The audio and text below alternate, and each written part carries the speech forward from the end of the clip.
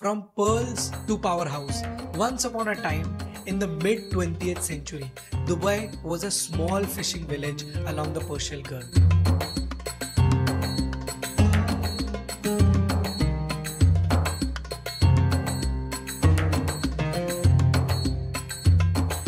It was known for pearl diving and a bit of trading, quant, but nothing like the glitzy metropolitan which we know today. Then, in the 1960s, Dubai hit the jackpot, the oil.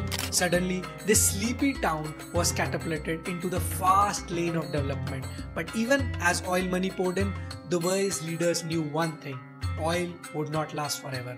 So they embarked on a bold journey to transform Dubai from a little known oil town into a global manufacturing hub. So, who was the man with the plan to transform the country into such a powerhouse?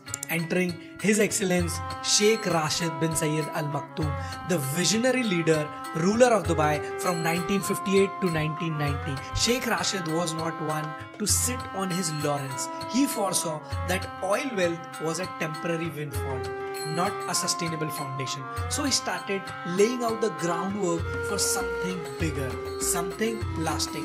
In 1979, he pulled off a masterstroke by constructing the port of Jebel Ali. And this was not just any port, it became the largest man made harbor in the world, putting Dubai on the map as a key player in international trade. Jebel Ali was like Dubai's golden ticket to the global economy, turning the city into a logistic superstar. So, entering the free zone era. Sheikh Rashid was not done yet. To really make Dubai stand out, he introduced the concept of free zones.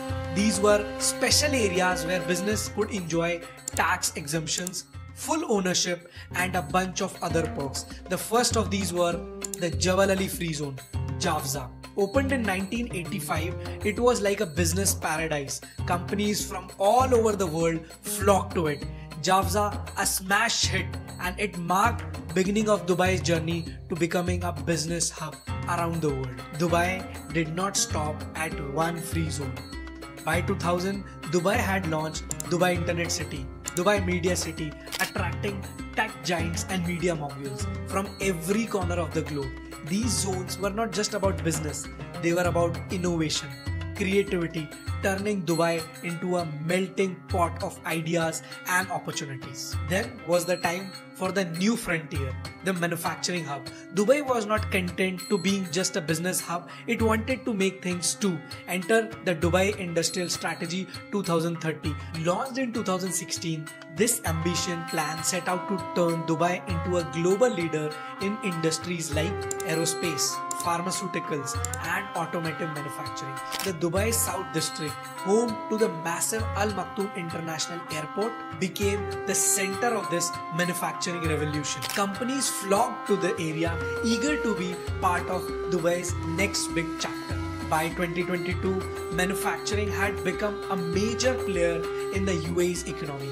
The sector was growing at an impressive rate of 8.75%, a huge leap from the pre COVID era. It was not just a side hustle anymore. Manufacturing had become the third largest contributor to the UAE's GDP right after mining and retail. So, what's next in Dubai's Industrial Strategy 2030? Well, it will horizon more things like it is all about taking things to the next level.